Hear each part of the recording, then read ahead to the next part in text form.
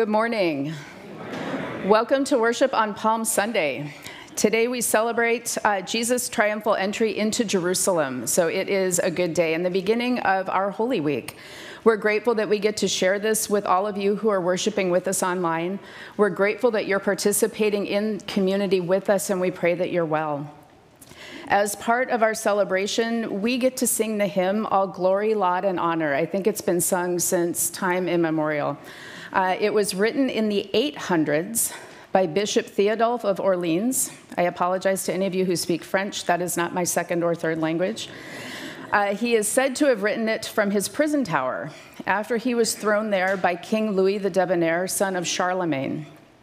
And the story goes that in the year 821, as King Louis, who was also an emperor himself by that time, passed by the prison on his way to Palm Sunday Mass. And as he did, Bishop Theodulf sang his song loudly from the tower. And the emperor was so taken with the song that he released the bishop from prison. It's a good story, right? Nice way to start the week. Uh, I invite you to stand as we read our entrance gospel for today.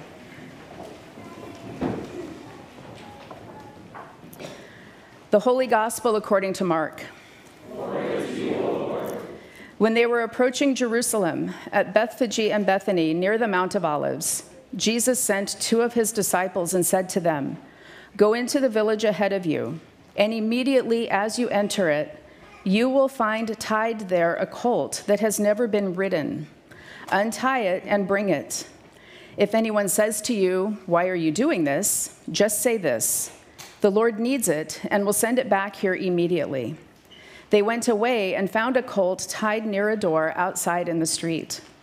As they were untying it, some of the bystanders said to them, What are you doing untying the colt?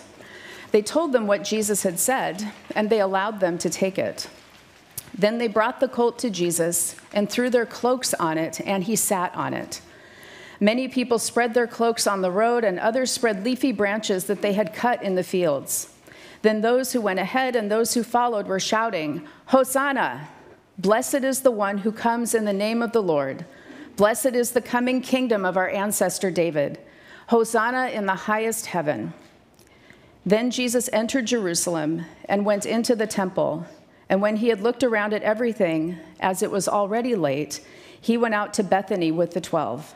The gospel of the Lord. You, May God be with you. Let us give thanks to the Lord our God.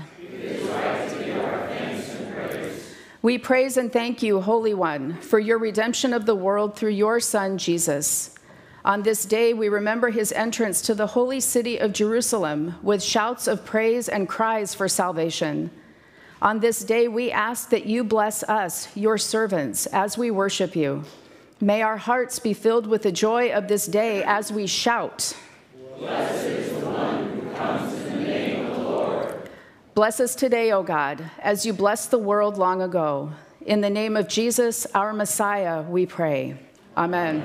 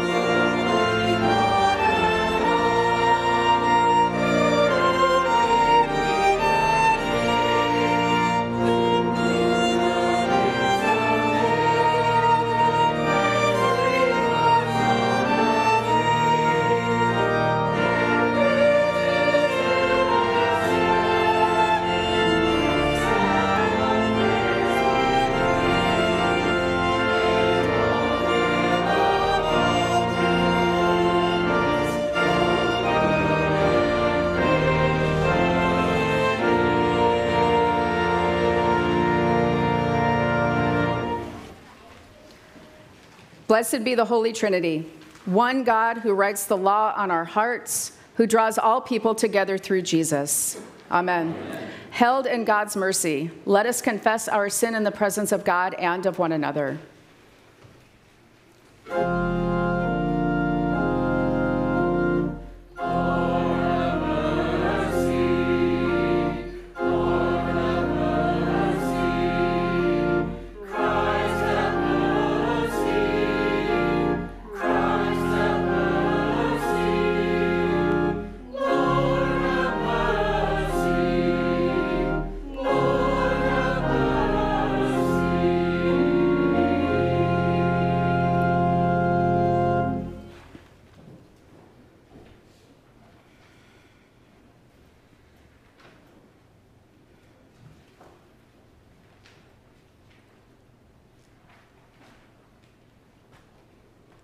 Holy God, we confess that we are captive to sin and cannot free ourselves.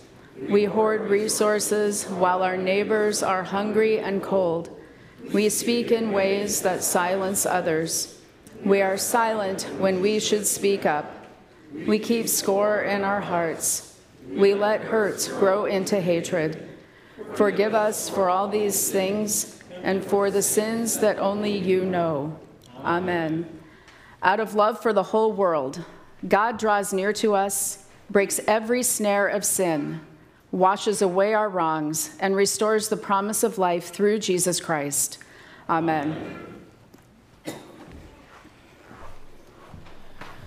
The grace of our Lord Jesus Christ, the love of God, and the communion of the Holy Spirit be with you all. And also with you. Let us pray together. Everlasting God, you have established your rule in the human heart through the servanthood of Jesus Christ. By your Spirit, keep us in the joyful procession of those who with their tongues confess Jesus as Lord, and with their lives praise him as Savior, who lives and reigns with you and the Holy Spirit, one God, now and forever. Amen. Amen. Please be seated.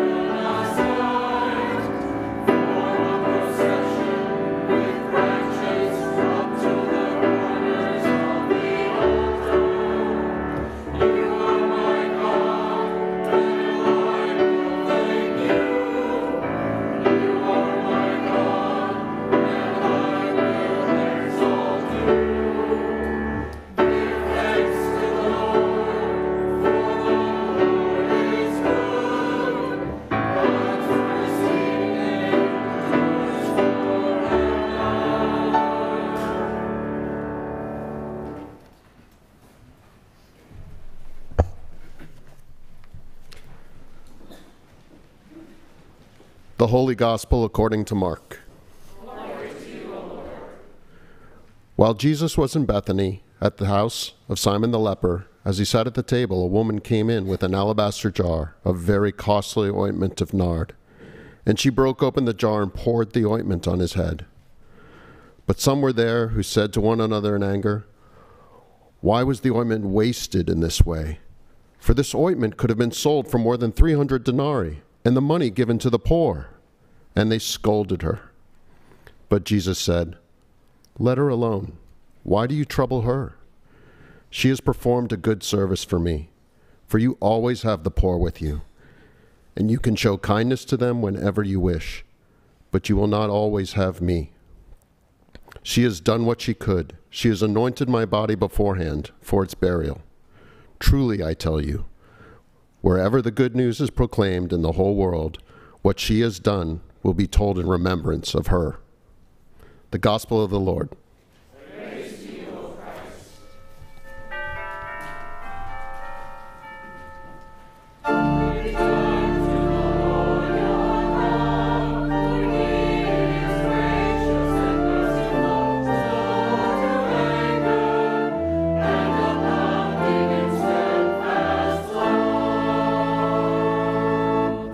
Please be seated.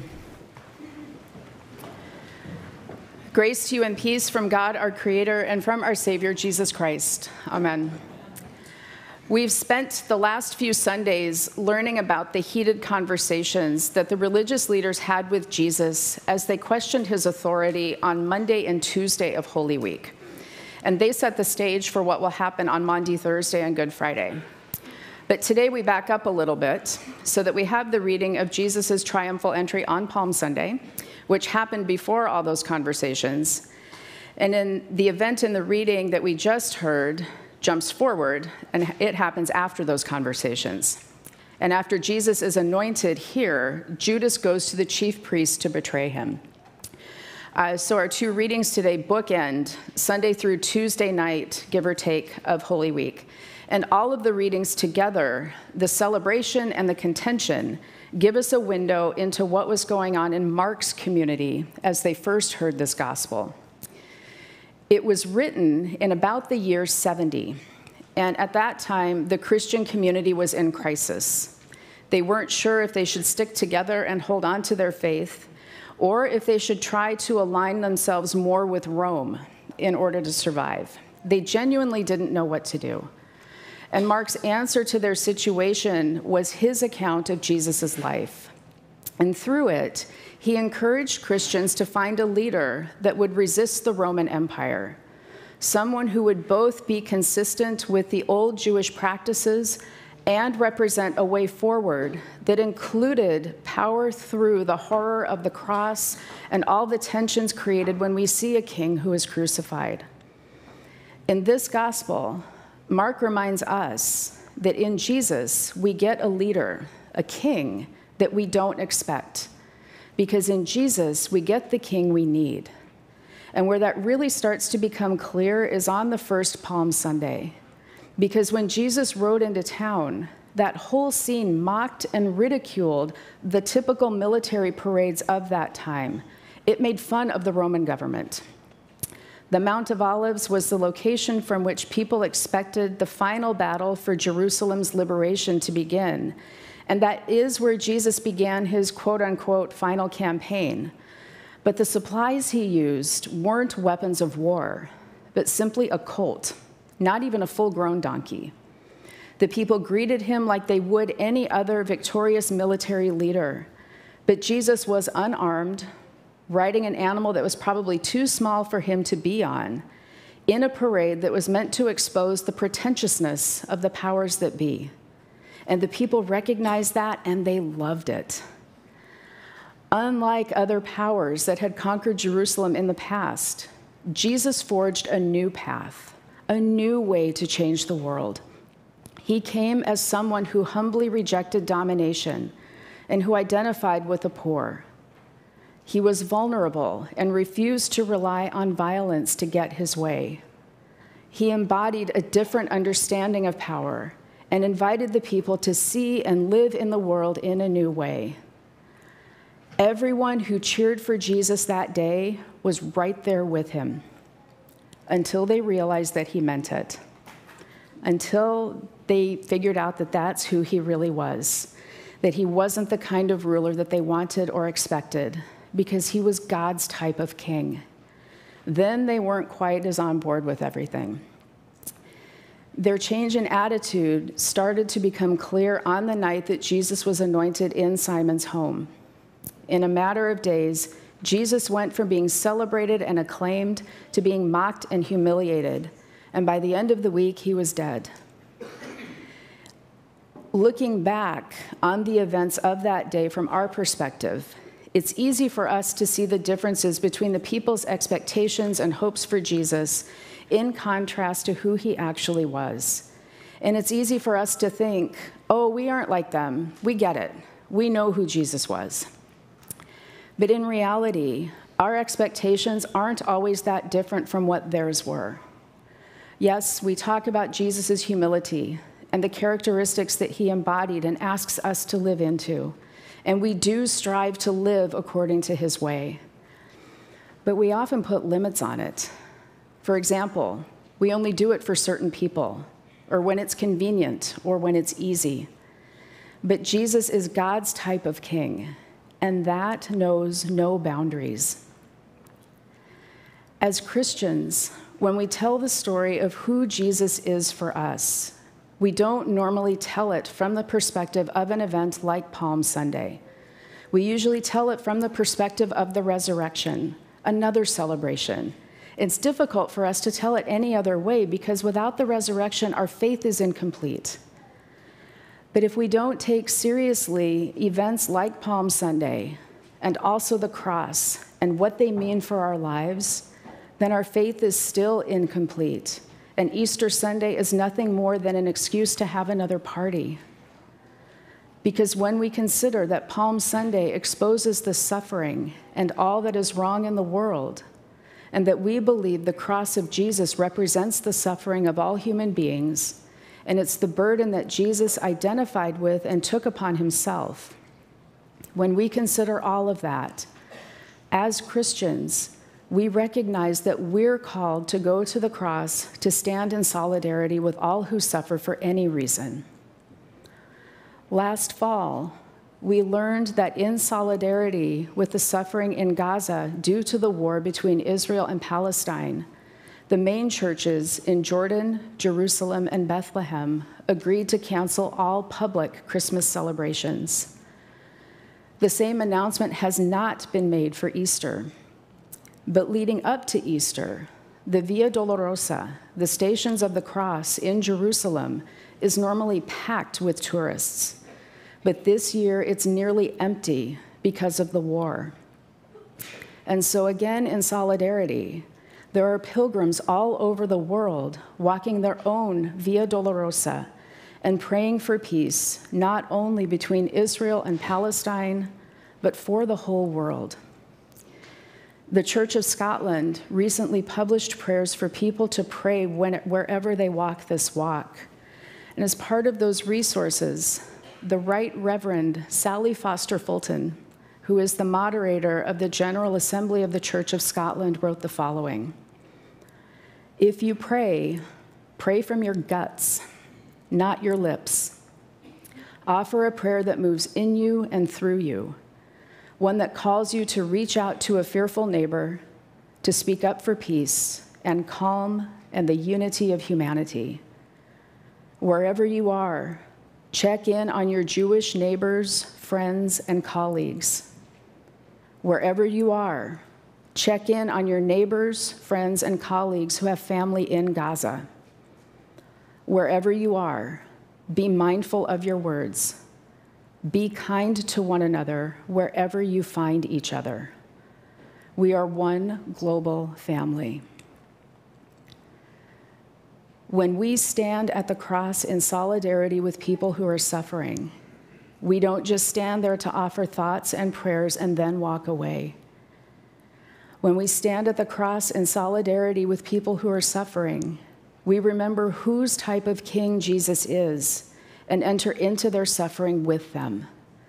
We meet them wherever they are and we accompany them. We walk with them when they experience hatred or violence and speak out against those things to keep them from happening to someone else. When people are suffering, we accompany them through every kind of life situation. We become experts on the cause of their suffering and advocate for them when needed seeing them through to the end, whatever that may be and for however long it takes. When we remember that Jesus is God's type of king, it changes us. It frees us from our expectations of him and gives us the courage to live into love and compassion and mercy and grace and forgiveness all the time, not just when we're around certain people or when it's convenient. It carries us through what happens on the days following Palm Sunday. sustaining us through the events of Maundy Thursday and Good Friday, holding us as we wait on Holy Saturday, showing us that the day of resurrection isn't just another reason to have a party, but rather a true celebration of who Jesus really is. Because the Jesus we celebrate today and every day is God's type of king. He is the king we need him to be. Thanks be to God. Amen.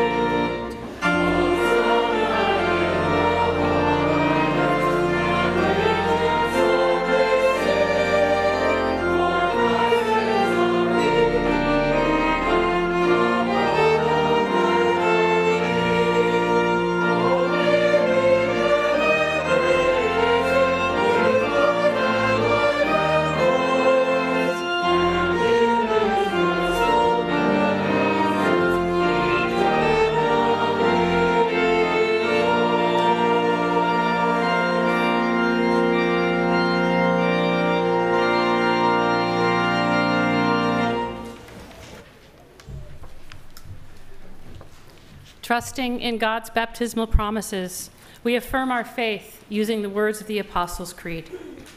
I believe in God the Father Almighty, creator of heaven and earth. I believe in Jesus Christ, God's only Son, our Lord, who was conceived by the power of the Holy Spirit, born of the Virgin Mary, suffered under Pontius Pilate, was crucified, died, and was buried. He descended to the dead. On the third day he rose again, he ascended into heaven, he is seated at the right hand of the Father. He will come to judge the living and the dead. I believe in the Holy Spirit, the holy Catholic Church, the communion of saints, the forgiveness of sins, the resurrection of the body, and the life everlasting. Amen. Trusting in God's promise to reconcile all things, let us pray for the church, the well being of creation, and a world in need.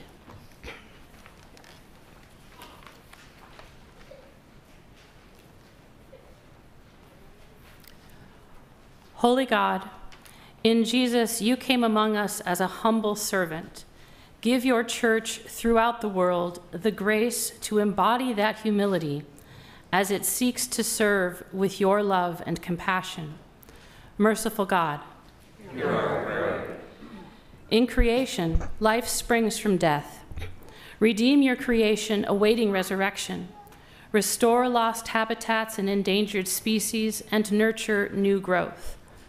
Grant relief to areas affected by severe weather, especially in Iowa, Ohio, Indiana, Missouri, and Illinois. Merciful God, hear our prayer. In all nations, guide those who are in power, that they would not exploit their position, but instead seek your justice. Protect all who live in areas of war or violent conflict. We pray especially for the people of Haiti, South Sudan, Myanmar, Russia and Ukraine, and Israel and Palestine. May your peace prevail over all the world. Merciful God. you abide with all who are experiencing loss, disconnection, or brokenness. Grant respite and renewal to all who are in need of healing, especially Bill, Marlis, Andy, Marge, Tom, Julie, Lois, Marley, Blenda, Leslie, Philip, Amy, Greta, Jackie, Dwayne, Ralph, Linda, Alexandra, Beverly, Misty, all caregivers, and all we lift up before you now. For whom and for what would you pray today?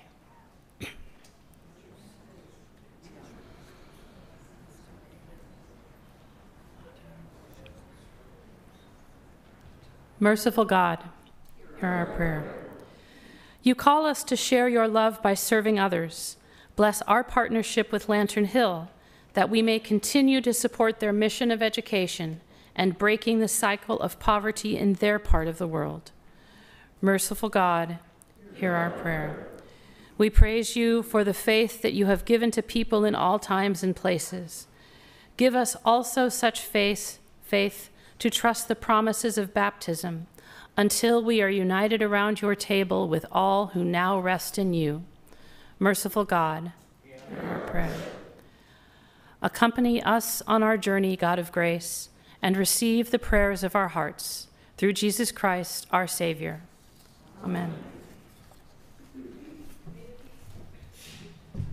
May the peace of Christ be with you always. Thank you. Please share God's peace with one another. Peace to you who are worshiping with us online.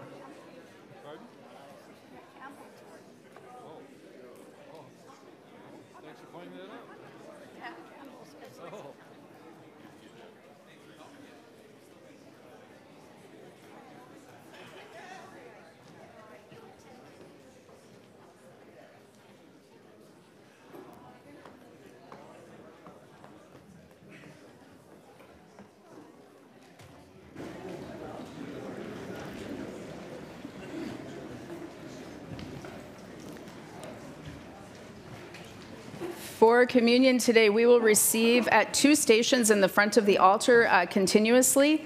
Please follow the usher's instructions as you come forward. You guys know all this, but I got to say it anyway. Uh, please let them know if you need to receive communion in your seat, and we will bring it to you. And we have a gluten free option available as well, so please let us know if you need that. Uh, the Holy Week schedule is on page 12 in your worship bulletin. It's also on the website, and we will uh, update our social media pages throughout the week so that that schedule is current. It's not going to change, but we'll just keep it up to date. Um, as we continue with our musical offering and the choir anthem, we also take this opportunity to reflect on and give thanks to God for the blessings in our lives.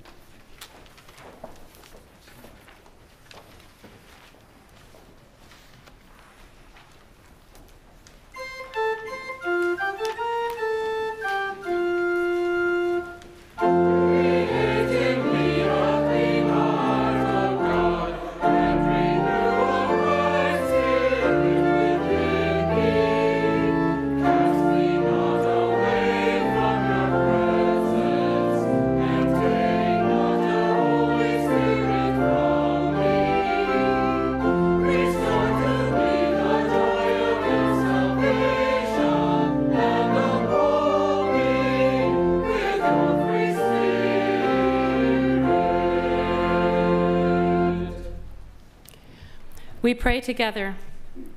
Jesus, you are the bread of life and the host of this meal. Bless these gifts that we have gathered, that all people may know your goodness. Feed us not only with this holy food, but with hunger for justice and peace. We pray this in your name. Amen. The Lord be with you. And also with you. Lift up your hearts. Let us give thanks to the Lord our God. It is right to give our thanks and praise. It is indeed right, our duty and our joy, that we should at all times and in all places give thanks and praise to you, Almighty and merciful God, through our Savior Jesus Christ. You call your people to cleanse their hearts and prepare with joy for the paschal feast, that renewed in the gift of baptism, we may come to the fullness of your grace. And so, with all the choirs of angels, with the church on earth and the hosts of heaven, we praise your name and join their unending hymn.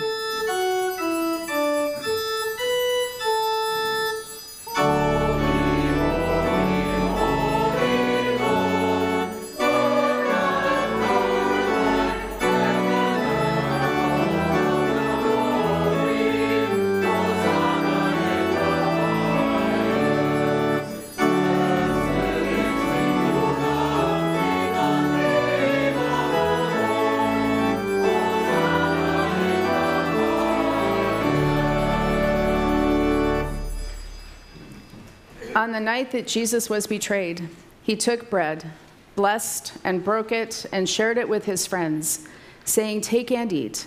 This is my body given for you. Do this for the remembrance of me.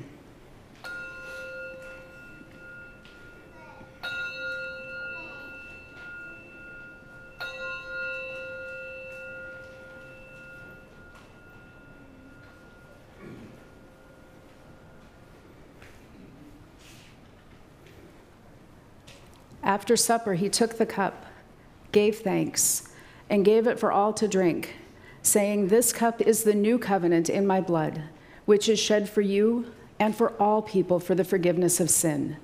Do this for the remembrance of me.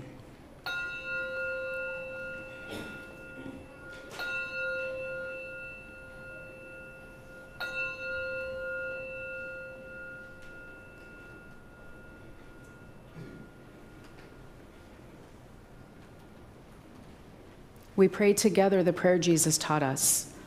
Our Father in heaven, hallowed be your name. Your kingdom come, your will be done, on earth as in heaven. Give us today our daily bread. Forgive us our sins as we forgive those who sin against us. Save us from the time of trial and deliver us from evil. For the kingdom, the power, and the glory are yours now and forever. Amen. This meal is the gift of God for the people of God. All are invited and all are welcome to receive this gift of grace. Please be seated as I commune our people who are worshiping online.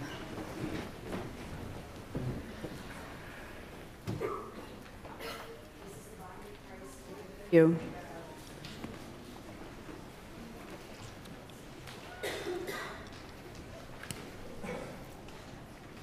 This is the blood of Christ shed for you.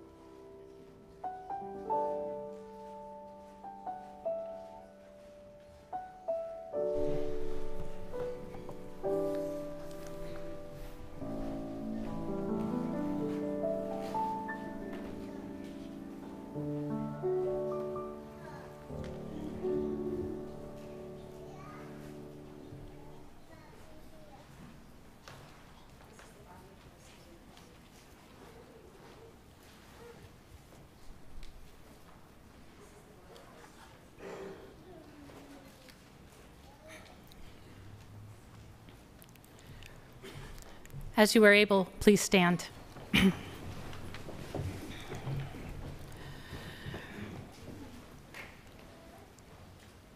Let us pray together. Generous God, at this table we have tasted your immeasurable grace. As grains of wheat are gathered into one bread, now make us loaf to feed the world. In the name of Jesus, the bread of life. Amen. Receive the blessing. The Lord bless you and keep you. The Lord's face shine on you with grace and mercy. The Lord look upon you with favor and give you peace. In the name of the Father, and of the Son, and of the Holy Spirit. Amen. Amen.